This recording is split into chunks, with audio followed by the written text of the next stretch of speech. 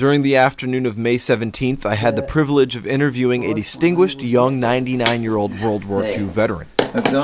When I arrived at Floyd Van Alstyne's East Barnard farm, it was as though I'd stepped into another world. It was the sort of world one associates with an earlier time, a time devoted to duty, honor, and country.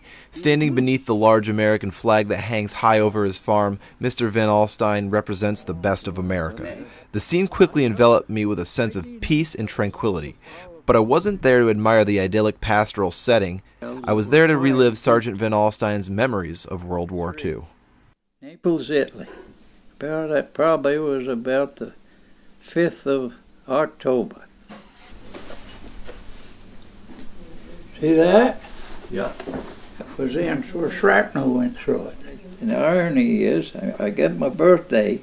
Two days later, shrapnel hit me on the helmet, which kind of, kind of was fairly spent shrapnel, it was enough to make my head sing a bit hit, uh, I knocked the helmet off my head because you didn't use a chin strap for that reason. And then later, shrapnel came in, you see the results of that. St. Peter didn't want me. That's what it boils down to.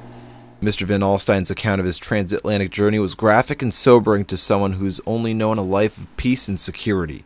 German submarines picked off ships from his convoy with deadly efficiency.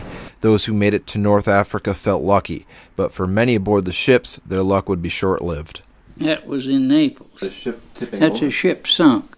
That got torpedoed, and I saw it, saw it when it blew up north of us, just over the horizon. I saw the tremendous ball of fire.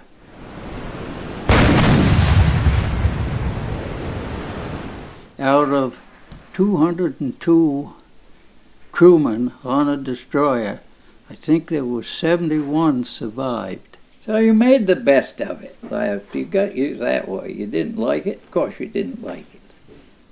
Sergeant Van Alstyne remained on duty for the duration of the war, returning home and getting discharged from Camp Edwards on November 2, 1945. On November 17th of 1945, he purchased his East Barnard farm of 256 acres for $3,600. The farm has been there since the 1860s and remains active today. To this day, Mr. Van Alstyne and his wife live the lives of farmers, just like on television. On uh, my pail, I tripped and slipped in the snow, and I spilt the whole pail full of cracked corn. Oh, so that's good eating for them. Mother! What? With five kids, did I ever change diapers? I don't think you ever